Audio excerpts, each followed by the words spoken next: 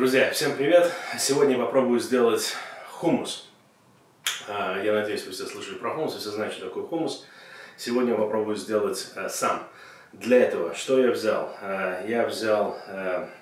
Да, кстати, сразу расскажу, скажу, что ингредиент, количество всех этих ингредиентов, я же перечислю быстренько, что мне нужно, а количество, пожалуйста, читайте под, под этим клипом в описании. Итак, что нам понадобится? Замоченный заранее э, э, нут. Вот. Э, замачивать его надо э, хотя бы за 6 часов до приготовления. Это процесса приготовления. У меня замачивался э, часов 12 уже. Вот такой замоченный нут. У меня здесь приблизительно 4 стакана этого нута. Кроме того, нам понадобится тахини, сесами тахини. Кроме того, нам понадобится сок лимона, нам понадобится чеснок, нам понадобится небольшая луковица, э, небольшая луковица вот такая вот. У меня, я взял красный лук, э, можете взять любой лук, одну луковицу, одна среднего размера морковка. Кроме того, нам понадобится сельдерей, перчик в горошинах, лавровый лист, соль, столовая сода, оливковое масло, гранатовый сироп, паприка средней крепости и свежая петрушка. Итак, нарезаем морковку на несколько крупных частей. Также поступаем с луком и сельдереем.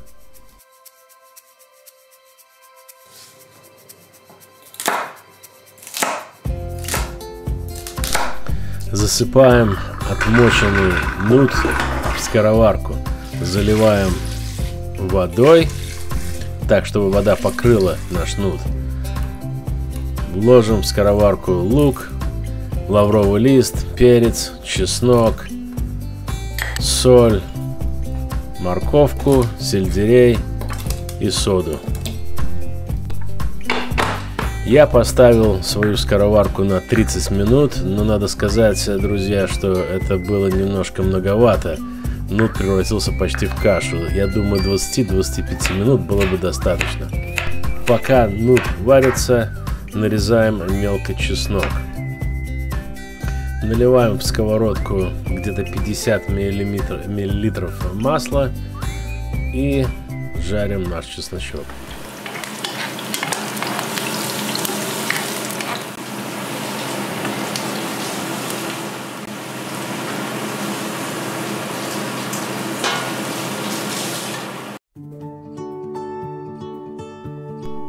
Следующий этап. Э, немного остывший нут после варки.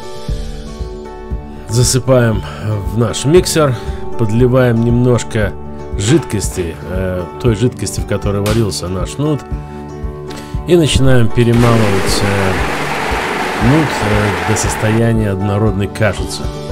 После этого мы вводим наше масло с поджаренными чесноком, Заливаем все это лимоном, половинкой лимона. Высыпаем перчик и наш тахини.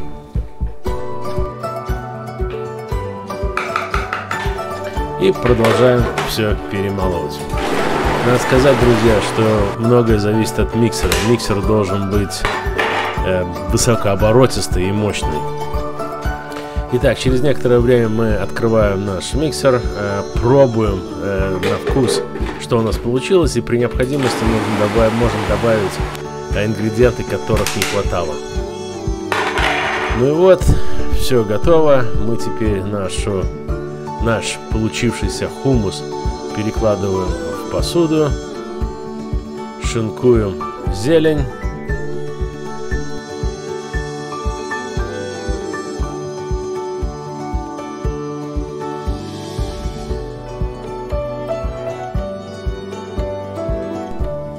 И украшаем хумус э, сверху гранатовым э, сиропом, перчиком и нашей э, зеленью.